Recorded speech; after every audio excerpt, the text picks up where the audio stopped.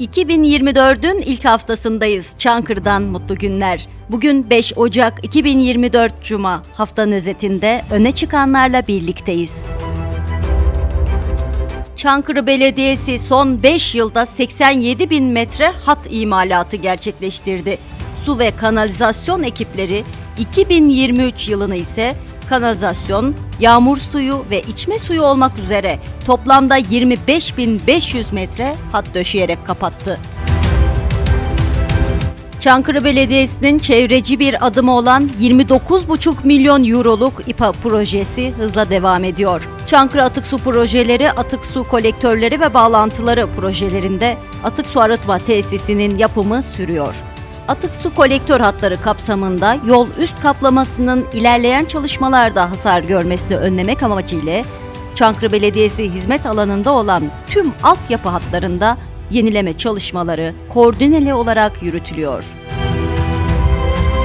Çankırı Belediyesi son bir yılda 701 çiftin nikahını kıydı.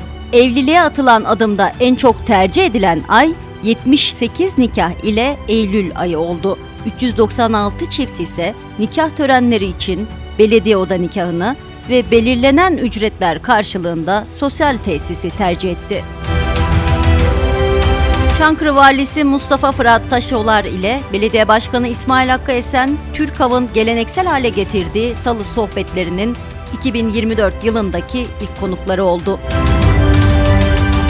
Esen çifti Esentepe Kültür Merkezi kursiyerlerini ziyaret etti. Kursiyerlerle sohbet eden Başkan Esen istek ve önerileri de dinledi. Belediye Başkanı İsmail Hakkı Esen saha çalışmalarını yerinde inceledi. Aqua Park Sosyal Tesis ve Yaya Köprüsü çalışmaları hakkında yerinde bilgi aldı. Güreşçimiz Fatih Özgen, Ankara'da düzenlenen turnuvada gençler kategorisi 70 kilogramda ikinci oldu. Çankırı Belediyesi haftanın özetini sundu. Yılın ilk haftasından itibaren huzur ve mutluluk sizleri bulsun. Esen kalın.